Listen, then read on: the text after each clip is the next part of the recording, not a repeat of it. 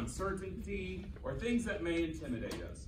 Vang has shown courage all throughout this school year so far as he is always pushing himself through any challenge that he faces. Vang displays courage in everyday choices that he makes, such as pushing through tough math assignments and wanting to complete it on his own.